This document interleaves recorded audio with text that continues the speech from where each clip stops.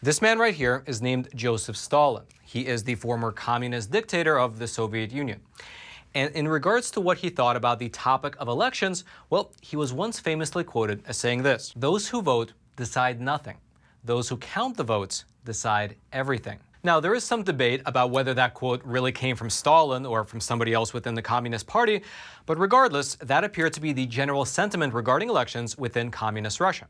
And you know what? It appears that there are people in this country, meaning right here in America, who are taking that advice to heart specifically by working overtime not to influence who people vote for, but rather how the underlying election system actually operates by influencing who actually counts the votes.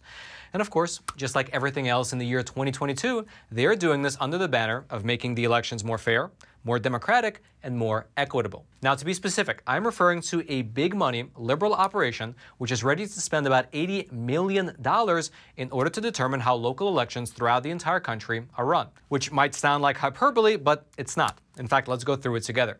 The organization is called Run for Something. It's a political action committee founded by one of the former directors of Hillary Clinton's presidential campaign.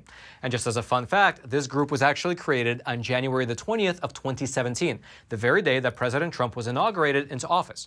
And on their website, this group is unabashedly progressive. Here's in fact how they describe what they do. Quote, we provide a safety net for new and exciting progressive leaders at all stages of their journey, helping them run efficient, strategic, grassroots driven campaigns while feeling supported throughout the process. And so essentially, Run for Something helps small, typically young progressive candidates run for local office. Their specialty is down ballot elections. So these are campaigns for things like state, city, county, municipal, and other local offices. Their aim is essentially to get progressive candidates elected into smaller offices across the entire country. And it appears that they have been rather busy, given the fact that on their website, they claim that since the year 2017, they have recruited nearly 100,000 people across all 50 states to run for state or local local offices. However, it looks like this organization is getting a little bit, you can say, creative about how exactly they are going to help these candidates. That's because exactly three months ago today, Run for Something launched a new $80 million initiative in order to help elect thousands of local election clerks, election supervisors, registrars, recorders, as well as other local officials that are charged with running local elections. Essentially, with their new initiative, which just for your reference, they called the Clerk Work Initiative, they moved their focus further down the chain, from the candidates on the ballots to instead the individuals who are charged with distributing, collecting, administering, and counting the ballots. And in terms of their justification for doing this, well, Miss Amanda Litman, who is the former Hillary Clinton campaign staffer, and she's the founder of this whole organization, she said that if they don't do it, well, people like Steve Bannon might just move in. Here's specifically what she told the Washington Post. Quote, you can influence quite literally who is administering elections. If we don't do it, we are absolutely going to regret it. Now, there is some truth to what she said. Steve Bannon did say back in December of last year that there is a volunteer movement of conservatives looking to get involved in elections. Here's specifically what Steve Bannon said back in December on the subject. Quote, we are going to take over the election apparatus. American citizens that are volunteering, they are going to volunteer to become a precinct committeeman. They are going to volunteer to become an election official. They are going to come and run for county clerk and overthrow those incumbent county clerks. And so, using Steve Bannon's comments as their impetus, Run for Something sent out a message via Twitter a few months before formally launching their initiative. Here's specifically what that message said. Quote, Steve Bannon is recruiting people to run for local election administration. So are we. But you know, for democracy. If you want to run for a position like city or county clerk or any other local position, we want to help. And then they list their website. And so, as you can see in their initial message, they just wanted to help local citizens get involved in their elections. However, that has now morphed into something much larger. And it's worth noting that helping local citizens get involved in elections is a significantly different matter than an $80 million project to, as the Daily Signal puts it, quote, place party activists in election supervisory posts. Now, in case you're not aware, local election clerks, as well as local election supervisors, they are generally the people within a given municipality who are empowered to both interpret as well as to enforce the election regulations of their given state.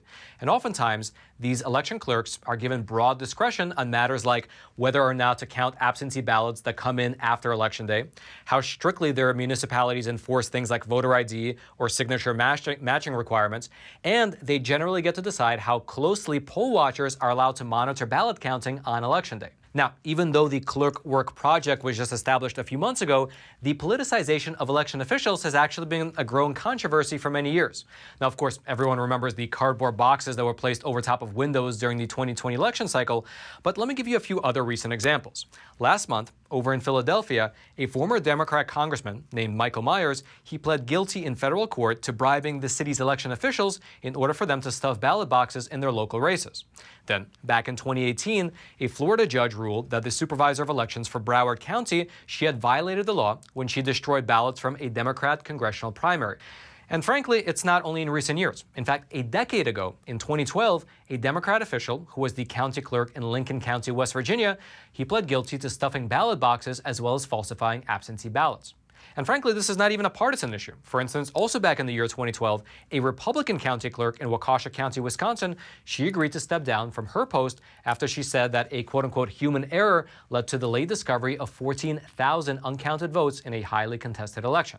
However, moving forward, according to Mr. Hans von Spakovsky, who is a former member of the Federal Election Commission, he says that having a nationwide project, which is quite literally dumping $80 million to elect partisan election supervisors, is a real threat to the independence of the entire system. Here's specifically what he told the Daily Signal. Quote, it is a very dangerous development for local election officials who are supposed to be objective and nonpartisan. This group is trying to elect political consultants and political activists to these positions, with the potential for meddling with the election results and further undermining confidence in elections.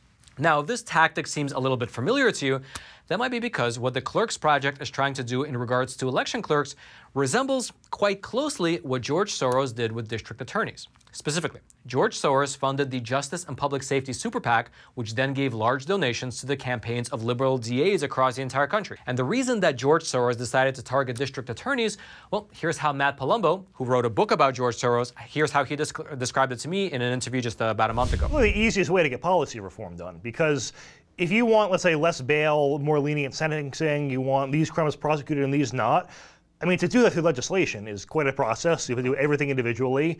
Um, you're going to get a lot of opposition if you elect a DA, they have total autonomy on all those things. So it's just, hey, I want the law changed. I back a guy who wants to change it exactly the way I do. He goes in, he changes it overnight. And so you see, it appears that just like George Soros, who bypassed lawmakers and put into power the enforcers of the law, this liberal organization, Run for Something, is bypassing the changing of election laws. They're bypassing Congress and all the different state legislatures, and instead they're focusing on getting into power the people who are responsible for actually implementing the election laws.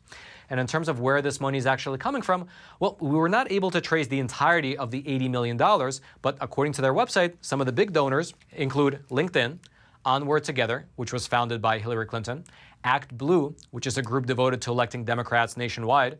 You have Alphabet, which is, of course, the parent company of Google. You have Apple.